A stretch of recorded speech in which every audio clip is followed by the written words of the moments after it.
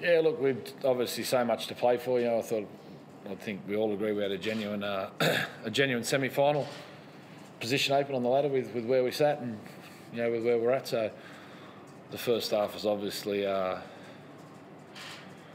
probably a reflection of why me and the boss honestly come to the solution we come to last week. You would have hoped that that announcement would have sparked a bit of a response. Oh, look. The response you wanted. Look, when when you're in these situations, we've been in the coaching game a long time and playing game for a long time, and when when you get to the, I suppose, the end of the road sort of thing is um, with where I'm at, yeah.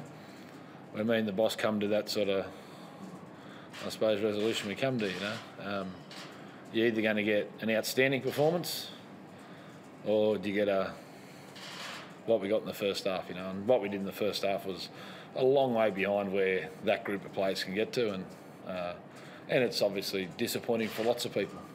Did you think it might go that way? Did you get any? I had no idea. No, the boys trained quite well on uh, on Wednesday and trained well uh, yesterday, but game day's a bit, you know, it's different. As I said, I my feeling was it'll either be very good or not good at all, and that's what happens in these situations. Granny, I know you said on Wednesday that it wasn't going to be a distraction for the boys, but in hindsight, the timing not, ideal, and?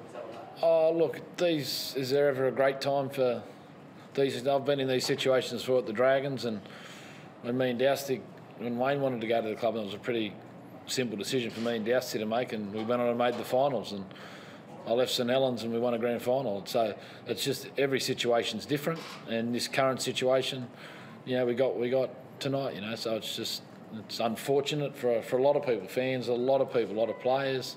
There's been a lot of hard work, a lot of people have put in, and to get the result we got tonight is obviously, or get the performance we got in the first half. Tonight, there was obviously second half. There's a lot, lot more, you know, a bit more commitment, a bit more effort, but the first half was, as I said, yeah, it, was, it was disappointing for, for a lot of reasons, but it is what it is.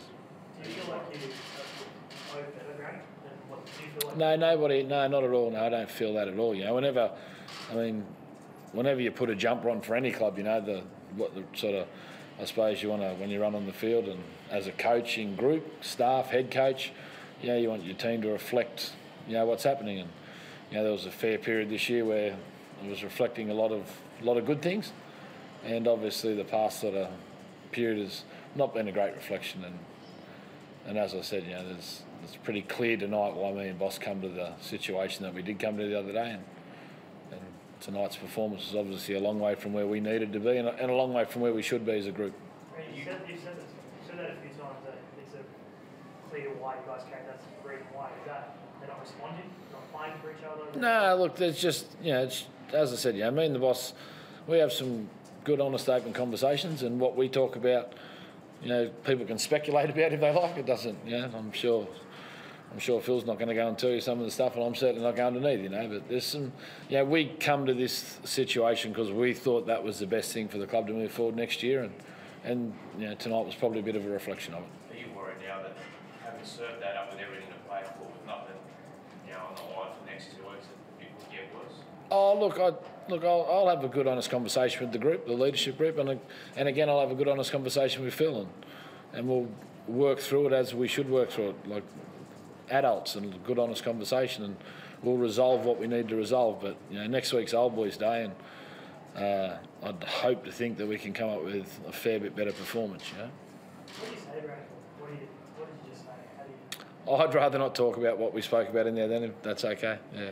We just had a quick conversation. I'm not, we're not going to be too critical of people after after that. We can just have a good, honest conversation with a few of the players and work our way through it. There was a suggestion on TV that at half time you walked out uh, through and the boys themselves. Is that right? Did you walk out? Um, no different to a lot of normal weeks. I didn't go, I don't think I went out too early at all. No, just a you know, conversation. There wasn't, a, you know, when you're in the situation you're down 30 nil, you don't need to have a heap of words. It's not going to solve the problem you're in. Yeah, so it's only it was a reasonably short sort of conversation, but it was direct and to the point. Are you worried that performances like that, and particularly if it doesn't improve, it could tarnish your legacy? You obviously want to leave on the best possible note. Oh, look, if you said to me how it's ending, how it looks today, is that how you'd want it to look? No one would want that. But I'm really proud of what we've achieved at the Knights and where we were when we started. And I think the, the next coach will be quite happy with where the squad's at. Um, And you know, with where the salary cap situation is, I think he'll be very, very happy. And There's been a lot of people make a lot of sacrifices to get there. Sure, would we have liked to have won tonight and then won next week and made the finals and had a bit of a shake at the finish? Sure, we would, but you know, life's not always like that. Nathan, tough night for Bradman Best. How did you Oh, I thought he was terrific. If you put it all into uh, into the facts for there, Rob, he's, he's 18. We were obviously badly beaten. Um, he's played one game of footy in six weeks. Off a, he come off an injury last week, so it was his second game in six weeks. Uh, and I thought he was very, very good. And for where he's at, I think, you know, I don't think there's going to be too many more. Well, I probably can't say that because I'm not going to be coaching him next year, but I'm pretty confident the new coach will be very impressed with what he's got there, and I think you'll see him uh, playing at the, the later starts of the day than, than you'll see earlier starts. So you, you think he'll play out the rest of the year in first grade? I would have thought so, Rob. I don't see any reason now why we would want to put him back, and you know, with the situation and no, no finals footy, there's maybe you know one or two others that probably maybe should get an opportunity as well to, to get themselves ready for next year.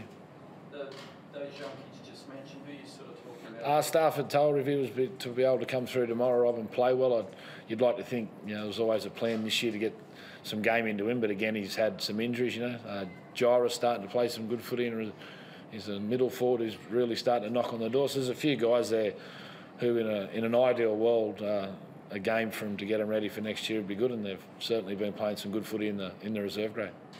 Danny Levi, I think, did he come off from a rib? He had a few um, bumps down. He had a bit of a head knock and a cut, and a bit of a rib problem. Not sure how to what extent.